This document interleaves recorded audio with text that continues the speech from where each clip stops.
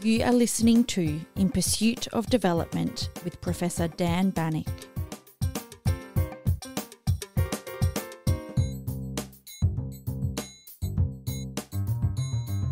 There is considerable and growing interest in understanding state capacity for achieving inclusive development, and especially the role of the bureaucracy in this process. Several scholars have over the years highlighted the extent to which institutions in certain developing countries often lack the power to effectively project authority and implement policies. There may also be a substantial gap between public policy objectives and their actual execution, which in turn may reduce the credibility and legitimacy of the state. In some instances, bureaucracies allow officials to actually extract public resources without providing sufficient services to citizens. Even well intentioned and coherent bureaucracies can face challenges in service delivery, and patronage politics can persist in well established democracies. Bureaucracies also exhibit significant variation in their ability to implement policies both between and within countries across various policy functions and even within specific administrative tasks. However, despite these challenges, there are actually several examples of effective public service delivery in developing country contexts. India is a particularly interesting case here.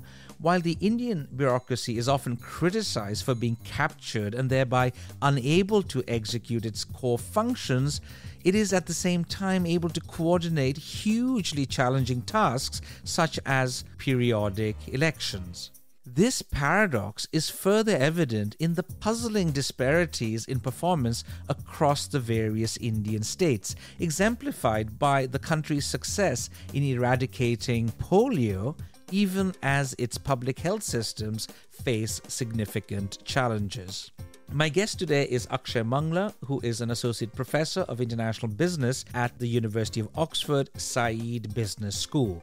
He specializes in comparative politics and the political economy of development. Akshay has studied the uneven performance of public services in India, and in a new book, Making Bureaucracy Work Norms, Education, and Public Service Delivery in Rural India, he examines how and why some bureaucracies deliver education services more effectively than others. Akshay finds that variations in bureaucratic norms, that is, informal rules guiding public officials and their interactions with citizens, result in diverse implementation patterns and outcomes. While some agencies adhere strictly to legalistic approaches, emphasizing rule compliance, others foster deliberation and encourage flexible problem solving with local communities, ultimately improving the quality of education services. If you're enjoying listening to the show, I would be very grateful if you could rate us, leave a comment, and consider sharing the podcast on your social media channels. Thank you very much.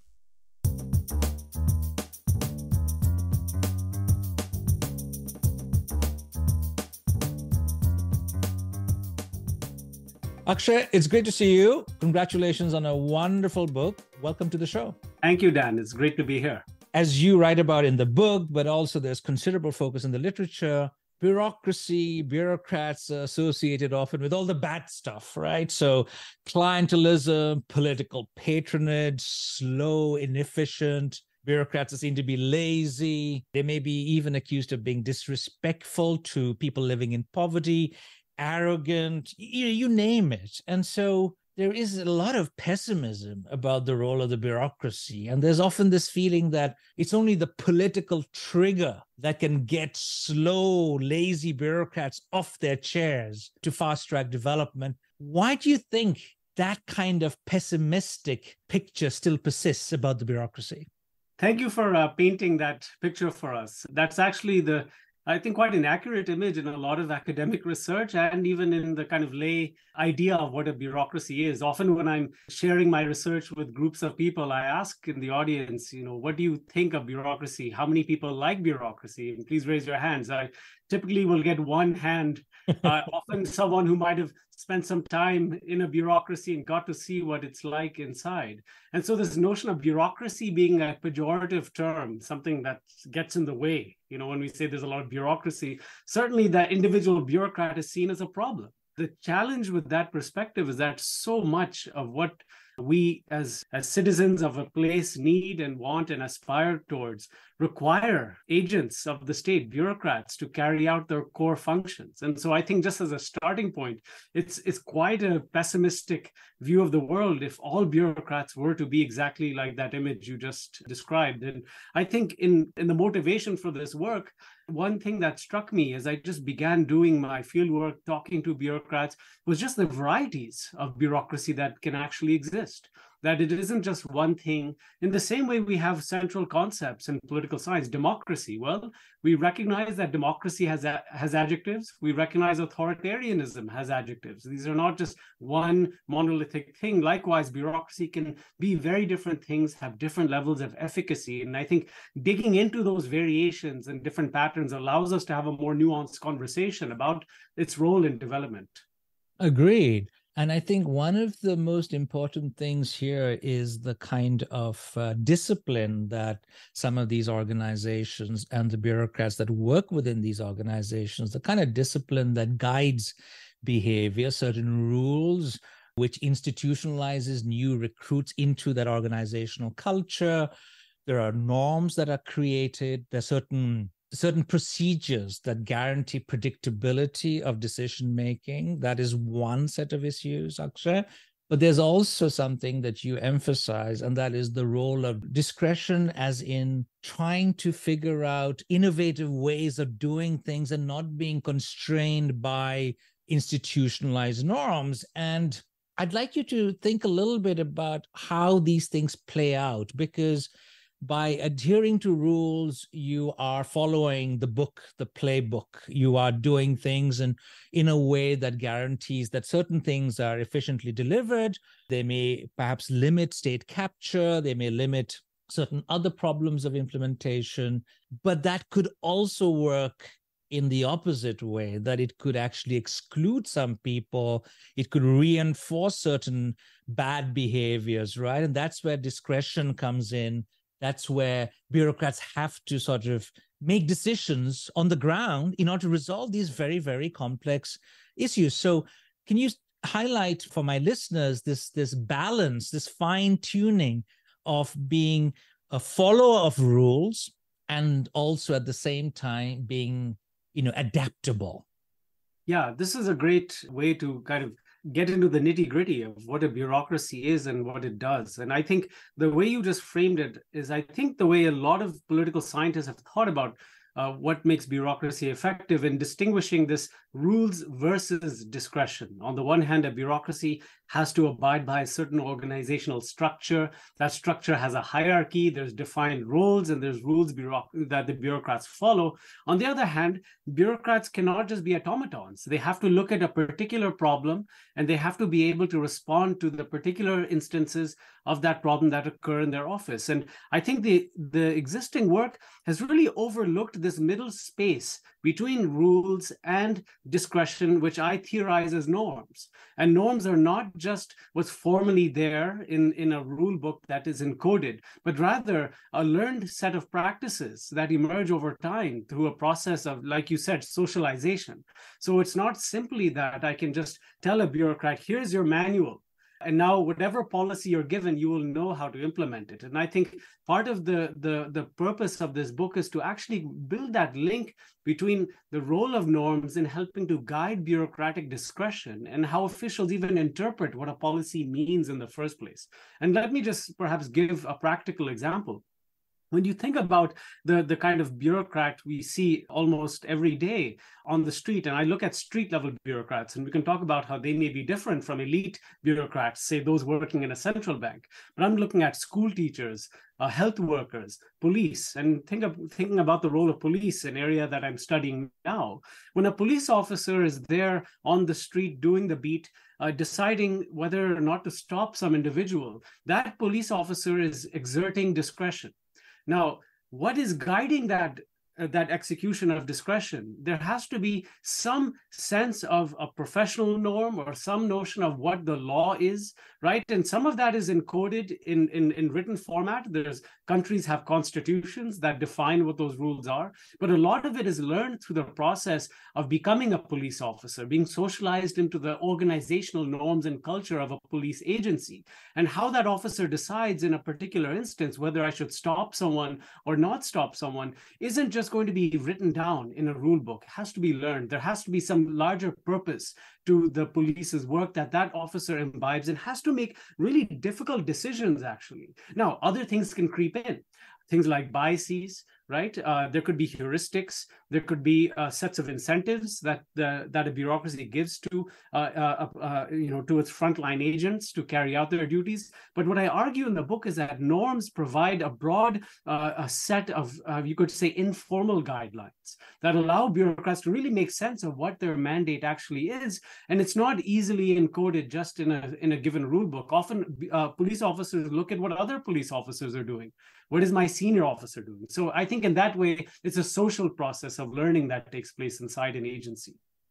Talking about rules, I am thinking back three decades, uh, two and a half decades, when I was doing field work in India, in Orissa, looking at starvation deaths. And one of the things I was looking at was so called scarcity manuals that the Indian bureaucracy operates with. These were actually formulated by the British colonial administration to provide bureaucrats with advice, you know, a checklist, you know, looking at the kind of crop loss that you could see with your own eyes, the devastation or migration of people that are just, or the price increases in the local markets of, of food grains. So there were these wonderfully detailed manuals that the Indian civil service still uses but it turned out, Akshay, that some of the challenges were that these manuals often had not been updated and that is when discretion comes in. That's when people have to know you know when is it that i should you know stick to whatever is written in the manuals and when should i go about use my own discretion to to figure out what to do. But i also thought of something else in terms of street level bureaucrats because I've been studying Indian administrative service officers, elite bureaucrats in India, your cases of school teachers or even the policemen or revenue officers, people who are very close to the ground, so to speak, they may be motivated, obviously, by ways, or they could experiment in order to implement something better because they're aware of the local situation, but they can also be motivated by their own standing in that society. And I've been doing a study in Malawi of looking at forest guards, how they are tasked with combating deforestation and the transport of illegally produced charcoal. And it turns out they are actually willing to allow this illegal trade sometimes to continue because they live in the community and their houses would be burnt down by angry residents if they enforce the rule book. So, can you please reflect a little bit on those constraints that do facilitate discretion, which may or may not be good for the delivery of certain services? Yeah, uh, and thanks for that example. Uh, you know, there's, there's there's two you could say directions one could take that example you just gave about the say a forest guard uh, and I think uh, I would start by uh, by noticing the the problem you raised, uh, which is that that forest guard may be embedded within a community, and this is a challenge of embeddedness that you raise. That by being embedded in the community, you're beholden to the community's norms, and therefore you're not able to carry out your functions as a public servant, but rather you're in a sense captured. Now, this is interesting because there's quite a debate in social science about what this embeddedness actually is. It is it a problem or is it a solution? And i'll point you for example on the solution side to the work by Lily Tsai at mit on china. And she has a book on public goods provision in rural china uh, where she finds that officials that are embedded within certain local social groups, she looks at uh, temple groups and church groups, they're more likely to seek moral standing, but that moral standing ends up holding them accountable even in the absence of elections. Uh, to be a, kind of seen as a well uh, standing, uh, an upstanding member of the local community, they have to provide more public goods. So she finds that they actually tend to provide better roads roads, better schools, for instance. On the flip side, you could say that having that embeddedness will take away from your ability to, to respond to the agency's needs. And I think the, the, the counterpoint to this, and I'll, I'll point you to that uh, classic book, which I'm sure you came across, Herbert Kaufman's Forest Ranger. Um, this was on trying to understand the U.S. Forest Service, and this is like you know one of the most difficult problems you cannot watch forest officers. They're in the forest. How do you know they're doing what you would like them to be doing? And what he talks about is actually this organizational identity that comes through being socialized into becoming a forest ranger. And that is a, a critical source of public service motivation.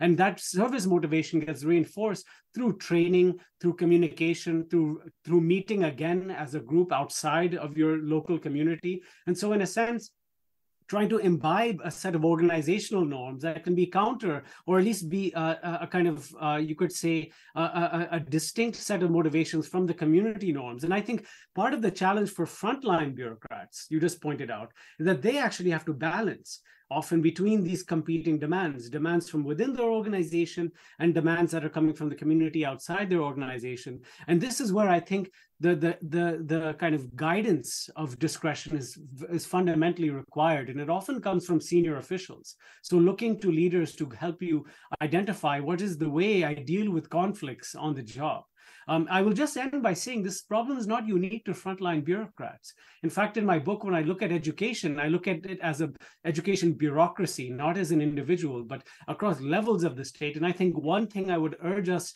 to do in our theorization and our discussions about bureaucracies to see it as an institution rather than as just an assemblage of individuals. Because as an institution, you'll have to think about what is the relationship between that frontline official and a higher up official, a middle manager, and a senior bureaucrat, as you mentioned, someone in a kind of elite civil service position.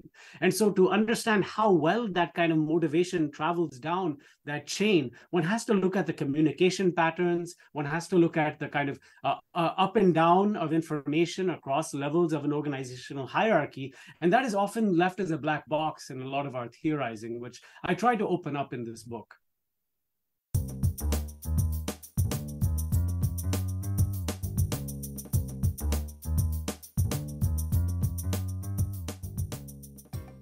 When we started this conversation, of course, I said that there was a lot of negative sort of pessimism associated with, with a bureaucrat. But it turns out in development, especially in relation to the developmental state, the bureaucrat has been known to have played a very important point. So I'm going to refer to embedded autonomy by one of my former teachers, Peter Evans, the sociologist, how bureaucrats actually took that decision to get development, get sort of these big businesses to invest in the areas that they were posted. So there was this ownership. And this is a bit also in parts of China. As you know, Yuen Yuen Ang has also written about this and I've seen this also when I've studied China, is that there's this pride that, you know, my success can be seen by the number of investments that I was able to attract or or the number of roads and how developed my area is. So embeddedness in that form is also good. But Peter Evans in Embedded Autonomy, of course, talks about India and Brazil too, where embeddedness did not lead to the same kind of results as it did in South Korea. So I think there's both the, the positives and the negatives to, to this embeddedness.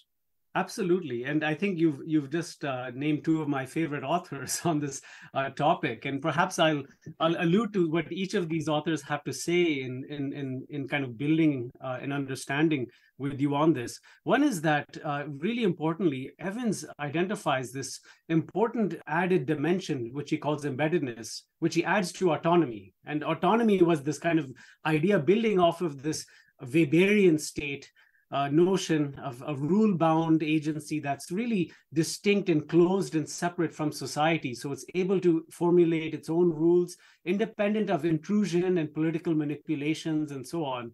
The downside of that is that there's a massive information problem when you're closed off from society. And Evans rightly identified that actually, for a developmental state and looking at places like South Korea, looking at places like Singapore, for example, the state not only had some degree of autonomy, but had to have those linkages to societal groups. And the groups he looks at are these business associations, right? Providing information to develop effective industrial policy, a problem that we're uh, seeing just regenerating today. Now, what I think one can add to this, and I think Yuen Yuen Ang does this really remarkably well in her group, is A, to identify what are the characteristics of non-Weberian states? And remarkably, China does not meet any Weberian criteria uh, for its bureaucracy, except that it has a very strong, as you mentioned, esprit de corps. Uh, there's a very strong sense of organizational identity, but that identity is not necessarily tied to being closed in fact, and this is an interesting, perhaps counterpoint to public imaginations about the Chinese bureaucracy. In my own reading of the secondary literature, Ang and other authors, the Chinese bureaucracy is much more open to information and learning from society than, say, bureaucracy in India. And I think that is an important element of embeddedness that has to be brought in. The challenge with embeddedness, and this is, I think, an important uh, uh, distinction that needs to be raised in the Indian case, is that is is that the the social groups over which the bureaucracy may be embedded are extremely hierarchical. So we have caste dimensions that come in. Uh, there's uh, identity differences that are quite significant and fragmentation. So the political scientist Ron Herring uh, from Cornell calls India a case of embedded particularism, not embedded autonomy. It ends up being very particular business interests that try to uh, benefit from these interactions with the, you know, with the Indian state, rather than a cohesive social group that can share broad-based information, which can help help with, say, provision of public goods for business. So consequently, you find embeddedness in the Indian case going into this direction of individuals seeking uh, their kind of more targeted demands and targeted needs, particularistic needs from the state rather than broad-based public goods. And so this is one of the challenges where how do you get a bureaucracy to function in a way that is public minded, public oriented when the societal conditions are also challenging? And I think this is where I draw on Evans and others is that we have to see bureaucracy as being located in a particular societal context to make better sense of what are the organizational features that will allow to succeed and fail. It cannot just be seen as a purely abstract entity out independent of society. Yeah, I couldn't agree more, actually. I think we really should be bringing the bureaucracy back in much more. We should be studying the, the bureaucracy even more. And thinking about some of the work I was doing 20, 25 years ago on public admin, I remember there was this Indian scholar, R.B. Jain, a wonderful guy from Delhi University. And in many of the International Political Science Association meetings and groups, we would talk about implementation, etc. The literature then on implementation, it, and it still is the case, is so heavily influenced by Western cases that there was a dearth of literature studying the bureaucracy and implementation in low income country settings, in developing country settings. I think that is improving, but it's still something that we should encourage further research on. But going back to India now, let's set the scene. So I have in my studies been actually rather impressed by these bureaucrats. And I'm thinking about young people like you. I've been studying the district collectors, the district magistrates, who are the lords of this huge territory with millions of people. And they are in charge of law and order, revenue, provision of social services, they're just the, the super generalists who are, you know, able to tackle hundreds of issues. And I remember on Saturday sitting beside them. Oh, by the way, the the more important, the more powerful the bureaucrat, the bigger the office, you know, with all those chairs. And there are five or six delegations meeting this one bureaucrat at the same time. And I'm sitting beside observing this, the grievance day, and marveling at how one individual, a relatively young person, trying to dispense justice, address complaints, address grievances. So I've been pretty impressed with what I have seen, but yet the characterization of the Indian bureaucracy is often also that it just doesn't deliver development enough. So there's this paradox I see in the literature, which you also discuss in the book, that on the one hand,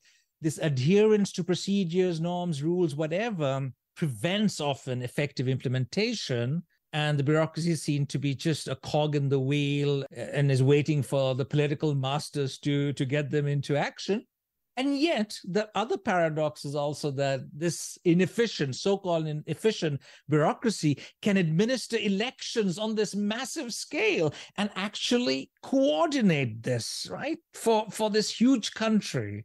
You also highlight the fact that, on the one hand, India is able to prevent polio and at the same time have an inefficient public health system. So, what explains this paradox or apparent paradox, Akshay?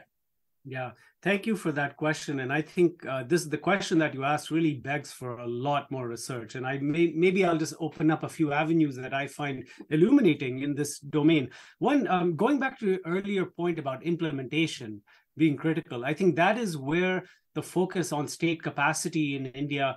Uh, research has been going, and policymakers are also aware that implementation is a critical issue and a challenge.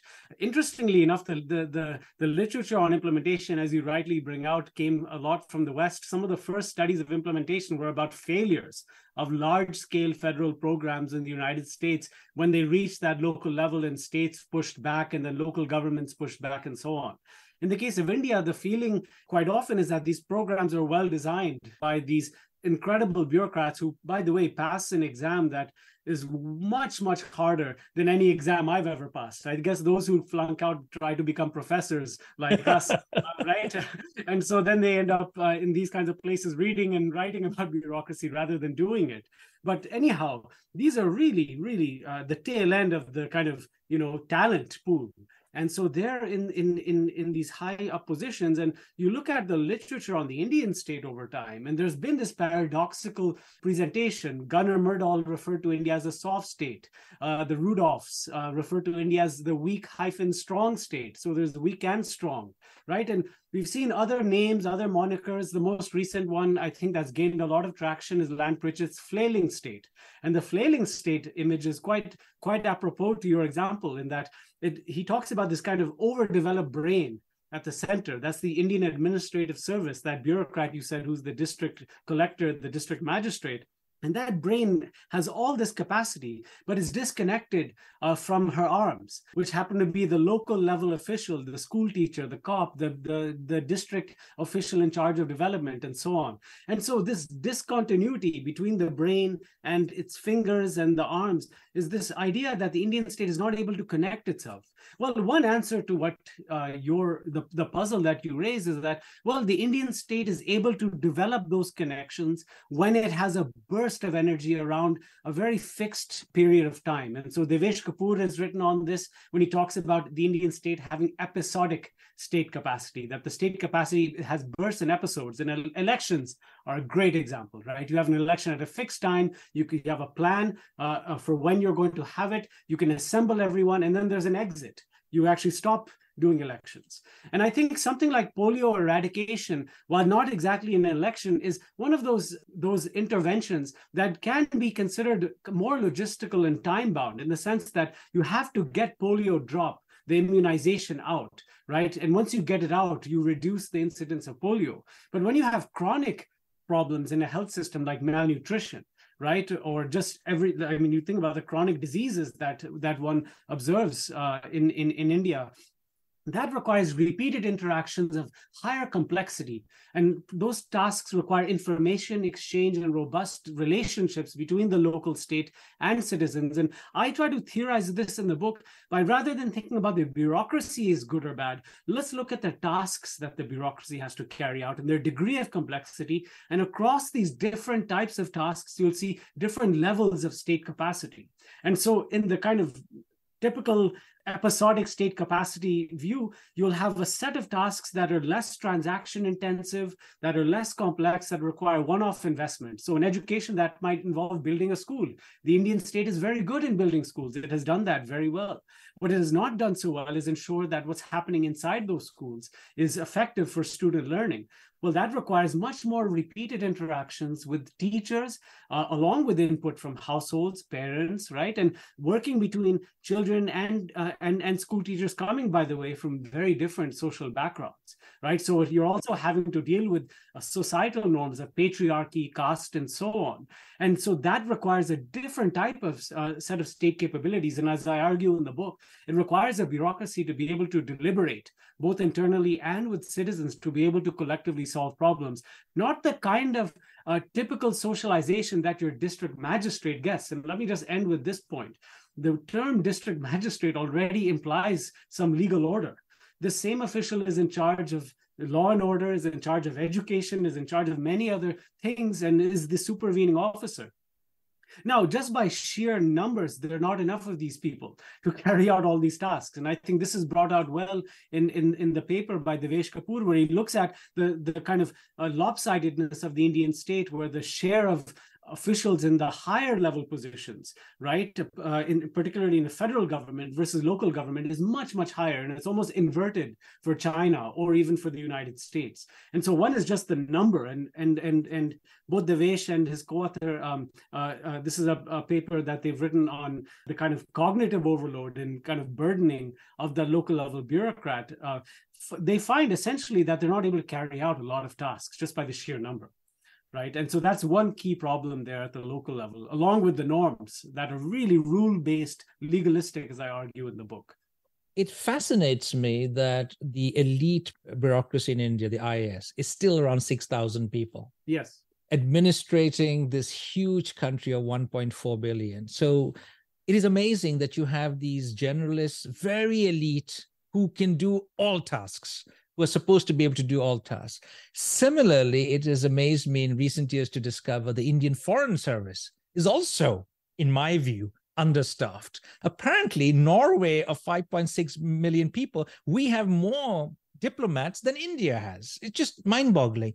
So I think there's something lopsided. Maybe there's an Indian model of doing this, but there's another thing to this episodic state capacity that you mentioned, the Devesh Kapur argument, I actually found in my work that the bureaucracy can do amazing stuff also during visible crises.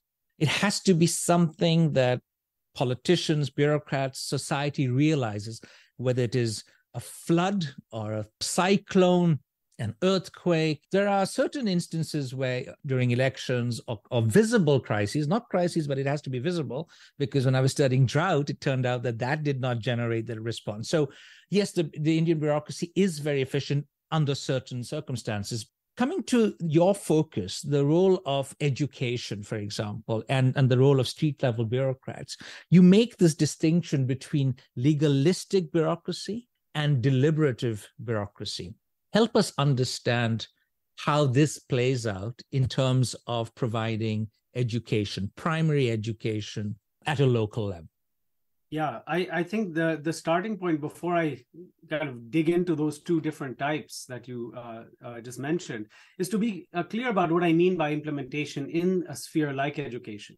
And often when one reads about implementation, one one one imagines that this is the state delivering a product, right? There's a public good or a service and the state is providing it.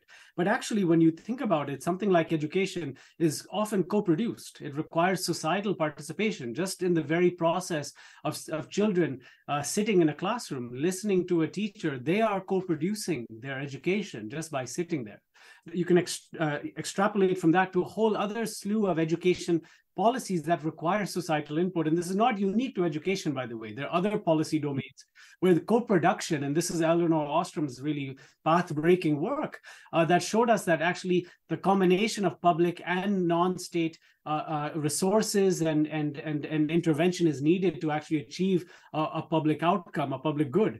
And for education, both are necessary. Now, the challenge here is that in a hierarchical setting like India, co-production implies power differences because the co-producers teachers and the community have power differences between them and even among them And so one has to bear that in mind when thinking about implementation in the education domain. Now, this takes us to legalistic and deliberative norms, the two distinct uh, forms of bureaucracy. I want to uh, uh, just say at the outset, these are identified as ideal types of bureaucratic cultures, sets of norms that guide how officials behave. They're not meant to just be these kind of reified binaries, but rather they could see it more as a continuum.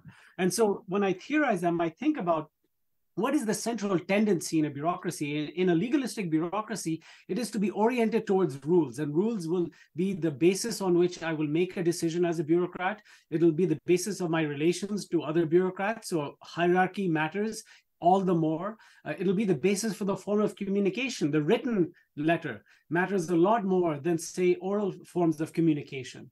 In a deliberative bureaucracy, and this is drawing on deliberative democratic theory, John Dewey being one of the key theorists on pragmatism and, and deliberation, it's really about a problem based orientation, that there's a set of public problems around which I'm going to orient my role. And that will require me to think about how to solve these collectively. And it will then push me to think beyond the rules and try to modify rules in practical ways that solve needs. And as a consequence, what I theorize in the book is that in a legalistic bureaucracy, you will tend towards a much greater compliance. Uh, around rules. And that can achieve certain tasks, like building a school, for example. Where it will flounder are those areas uh, the co-production tasks that require societal input. And the poor in particular, underprivileged citizens in particular, will experience greater burdens if they have to go through these cumbersome rules-based uh, uh, grievance processes every time there's a problem in their school. And here I draw on literature uh, by, uh, by, by Pam Herd and Don and, and, also Don Moynihan on administrative burdens being a problem. So when the, when citizens try to seek services, they find looking at the United States that actually the burden of even even seeking the service prohibits people from getting the public good they need. A legalistic bureaucracy, I argue in the book, is more likely to generate such burdens in the process of monitoring schools to ensure they're providing quality services.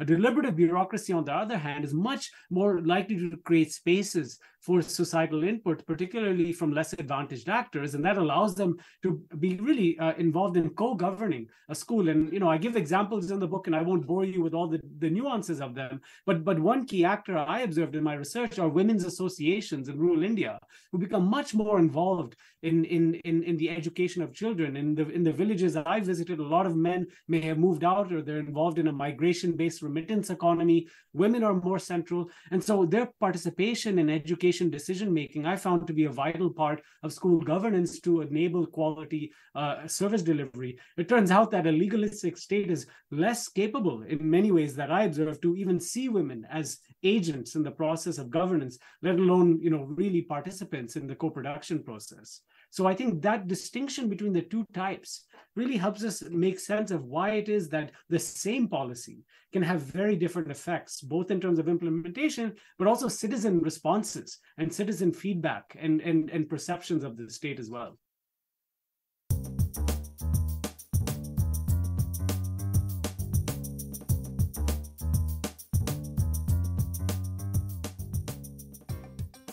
Let me paint for you a picture of what I experienced when I was doing fieldwork in West Bengal and in Orissa 20, 25 years ago. And uh, you helped me understand how this plays out in the four states that you studied in the book. Okay. You were studying Northern India, the Hindi belt.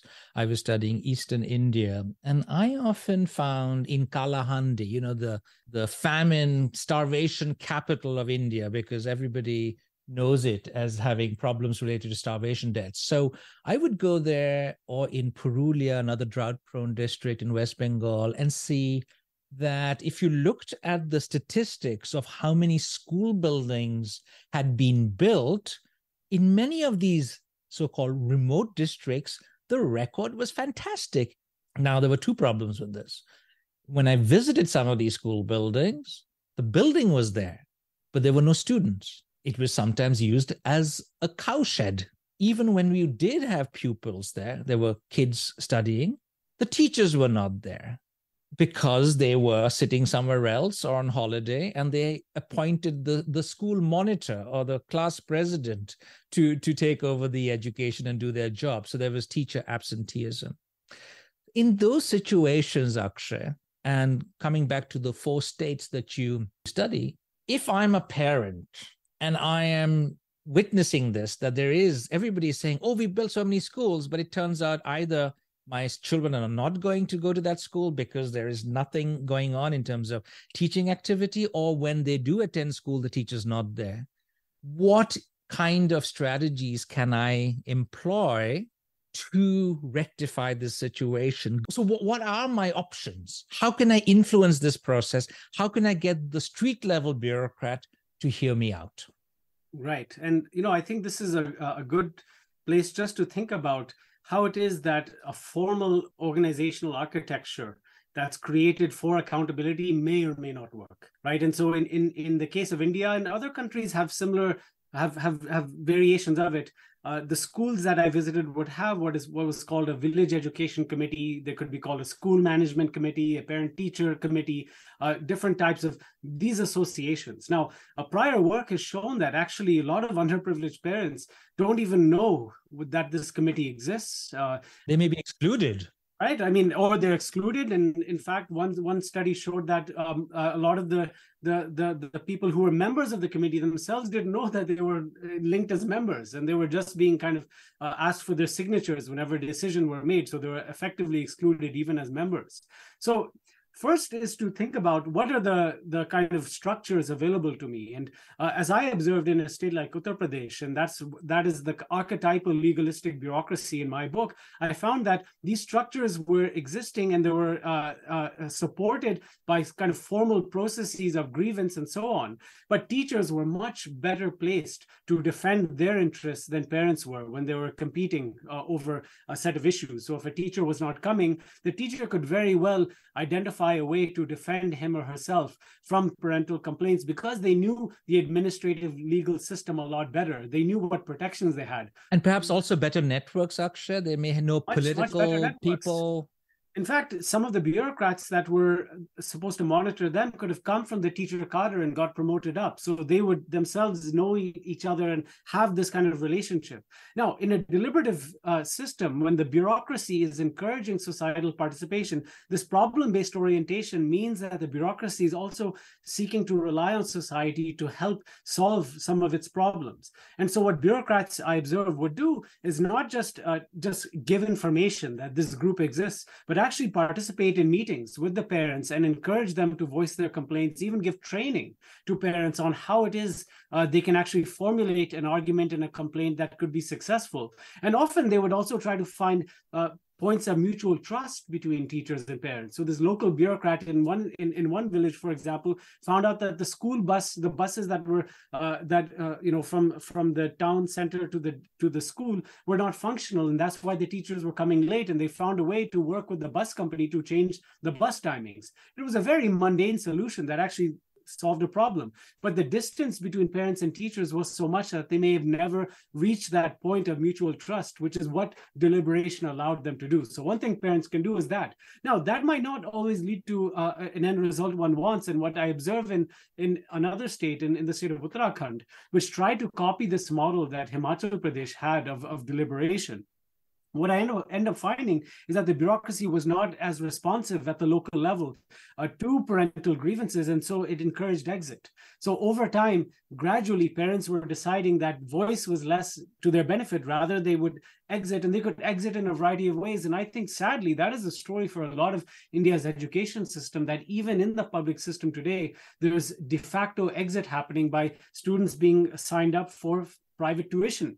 So this private tutoring service that the same government teacher may be providing in the evenings after school, rather than teaching uh, while in school. And you could see perverse incentives getting reinforced through the exit process. So I think when you talk about a household, the cost is quite significant, both of voice and of exit. But if one can come collectively as a community, and you know that's a big if, and I don't think that's you know something one can just say is predetermined. There, it takes work to have collective action, which is why the results have to be tangible for parents. This is where bureaucracy can intervene by at least showing some steps along the way by reducing the administrative burdens of participation in decision making as well.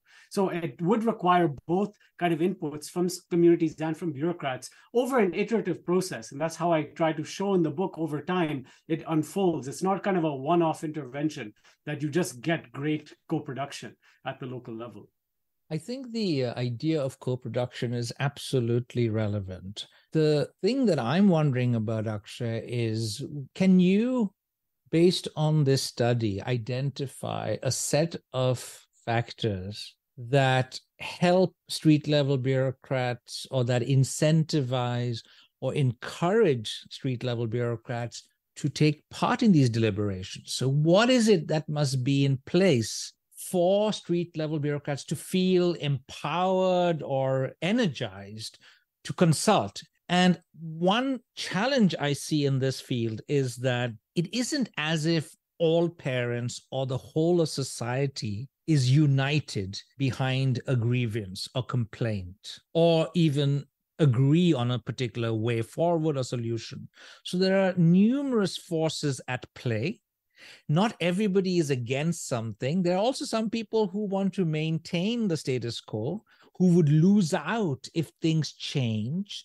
And thereby, the street level bureaucrat is under enormous pressure you know it's not like one is just trying to promote the interests of underprivileged groups but there are also very privileged groups that are doing their best to prevent any change from happening and that itself would be a disincentive going back to my forest guard example from malawi if the street level bureaucrat feels his or her family or he or she herself is going to be hurt or compromised in any way, then maybe the incentive is less. So what would you say generally in those cases in those states of india where particularly in himachal pradesh where was an interest to consult there was an interest to better understand what is it that characterized the bureaucracy there that was not the case in the other states? I think there's two two elements to answering this question. Uh, you know one element is to look at what are the most the more proximate factors uh, that would work, and the others to look at some of the kind of historical, you could say even deeper political underlying causes, right? So let me start with with with some proximate factors. One is that when you think about inculcating a, a participatory problem centered orientation among uh, frontline officials vis a vis society. One key step that bureaucracies can take is to encourage that precisely that within the bureaucracy itself. So it was not simply the case that frontline officials were, in many cases, excluding society, they themselves were being excluded from decision making. And I'll, I'll give the example of school teachers. I mean, I think there's, uh, you know, probably not a single group that's vilified more uh, than the school teacher, not just in India, all across the world. I mean, in the United States, you look at uh, education reforms that are aiming to encourage student learning. And the big problem that's raised is that teacher, that recalcitrant teacher that doesn't want to innovate and so on.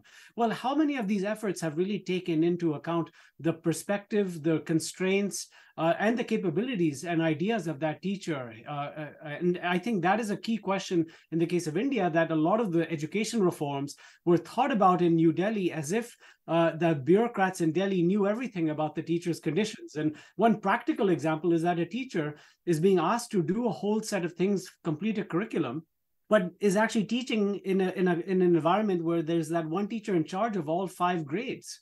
So how can you possibly expect that? And that information, teachers would tell me again and again, we're engaged in these training activities, but they're so uh, uh, out of touch with our ground realities. So one way that a, a bureaucracy can be can can better align itself with local level deliberation is to encourage deliberation more internally. And and and one uh, incentive that can that can come about through that is that the information from the local level can feed back into the policy making at the top. And himachal pradesh did this well that when there was a challenge that teachers were facing they took that information in and adapted the policy to better suit the needs of the teacher to make it more likely that they would then carry out a local level uh, kind of deliberation with parents. That is not happening quite often. So the distance, this flailing state that Lant Pritchett talks about, the brain at the top and the arms that are wiggling away, part of that is by uh, is reinforced by the norms and the bureaucracy that create the massive social distance between that district magistrate, that king, that lord that you mentioned, which is very much a colonial relic. Even that that language is is quite Indeed. from that era, right? And and and the school teacher. The other element of the, an answer to this is historical. And the book looks at each of the states and examines the political history of state formation largely in the post colonial period in India. And what I argue is essentially it matters what the relationship between the bureaucrat and politician, how that evolved over time in the period of state formation. And critical for the states I look at, because India is a federal system, uh, it was largely defined by, by, the, by the political relationship between the central and the state governments, where the central government really depended on states politically. And the state of Uttar Pradesh is a prime example of that because it sent in more prime ministers than any other Indian state, India's largest state.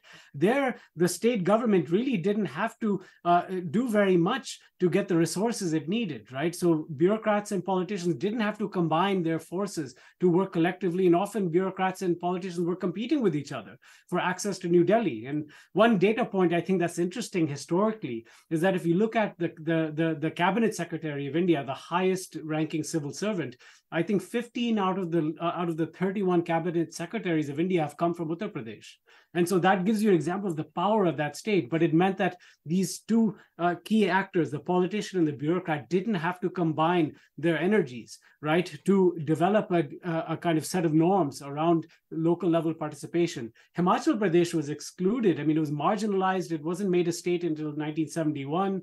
Uh, it, it actually had to fight for resources. It was actually the, the first state that was financially unviable on its own. So it needed central transfers to get those transfers, uh, those fiscal transfers from New Delhi, bureaucrats and politicians had to combine, had to engage in collective action. Every couple of years, they had to work together. And that had a, a knock on effect on, on middle level and lower level bureaucrats. I was able to interview some of these officials from the time of state formation who could tell me these uh, experiences they had with the chief minister and other senior politicians and how that uh, inculcated in them this need to also deliberate with their subordinates to solve problems collectively. So that is a political his- history, a political economy, a variable that's underlying all this that I think we need to look at more closely. And it brings together this kind of notion of state capacity over time and more kind of proximate indicators of bureaucratic effectiveness. And I think these two domains have really been speaking uh, insularly and kind of can talk to each other a bit more.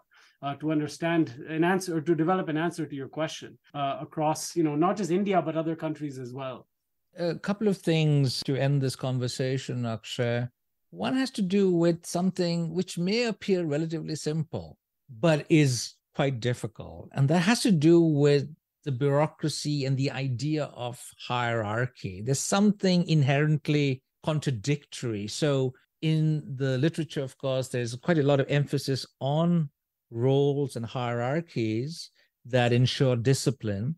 And yet, you are trying to make a very persuasive case for teamwork, listening to juniors, and this does not often happen. And I've found this to be true in terms of implementation of pollution control in Tamil Nadu in India.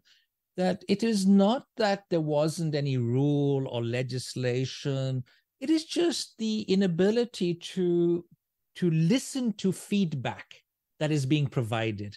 This dismissiveness that we know best, as you said, in the state capitals or in the national capitals. So it's something relatively simple, at least for us, to think that we should listen to our juniors, but that turns out to be more difficult in practice. So I wish to ask you the final question, which is really the kind of policy implications to address this huge learning crisis that many low income countries face. How should we address this challenge, Akshay, based on this study, this impressive study you've done in India? What would you suggest to policymakers, to aid agencies, to international organizations? What is it that one should be focusing on to address this huge learning crisis in many, many parts of the world?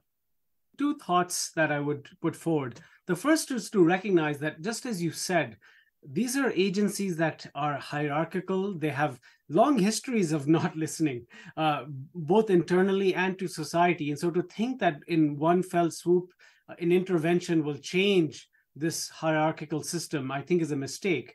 And so the first point I would make is that any intervention would have to begin incrementally and try to identify who are the entrepreneurs within that system, who are the bureaucrats who are what I would also call positive deviants. They're trying to in, instantiate what you're saying, uh, this kind of listening, but are not able to. And are there ways one can support them? And one way to do that is to encourage their experimentation in a defined way perhaps starting at a local level. In India, a district is a good unit. It's pretty large, about 2 million people or so, and it's enough to establish the proof of a, of, of a policy concept. Can one work at that level and establish that something or how something can work and then get some more support for it in a gradual and incremental sort of way, recognizing that there isn't going to be a big bang solution for for an entire place and one one uh, example of that is to kind of uh, uh, you know take from you know take the lessons that we have from community level governance. There have been ma- major reforms in India to make the panchayat, the village level government, have a lot greater say and more capability. And there have been experiments that have worked better than others uh, in parts of India. We can learn from those and try to aggregate some broad lessons of those and, and, and use them as examples.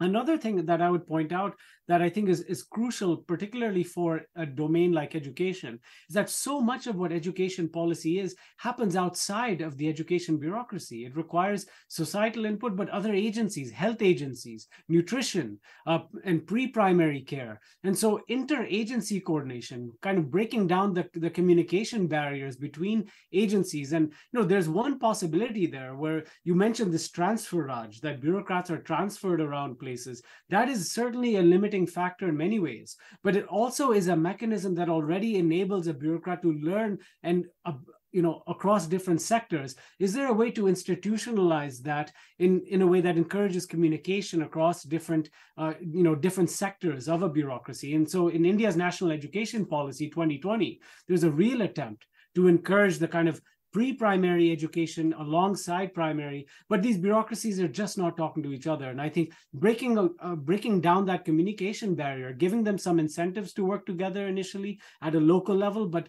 then extrapolating from that. And i think the big challenge there will be scaling it up. Uh, and I don't have an easy answer for how you scale up these sorts of changes. Uh, but I do think it will require, for one, making the bureaucracy more inclusive of disadvantaged groups. I mean, that is something that we're seeing can have some effect in, in policing, having more women in the police and some of my follow on research.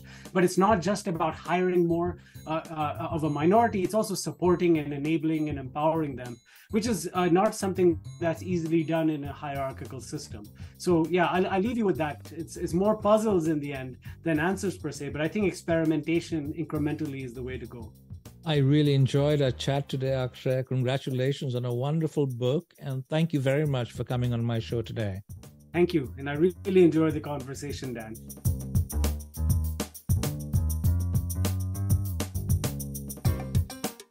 If you enjoyed this conversation, please spread the news among friends and colleagues and share the link to the podcast on social media.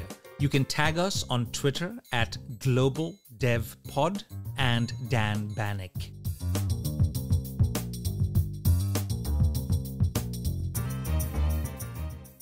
Thank you for listening to In Pursuit of Development with Professor Dan Banik from the University of Oslo. Please email your questions, comments, and suggestions to inpursuitofdevelopment at gmail.com.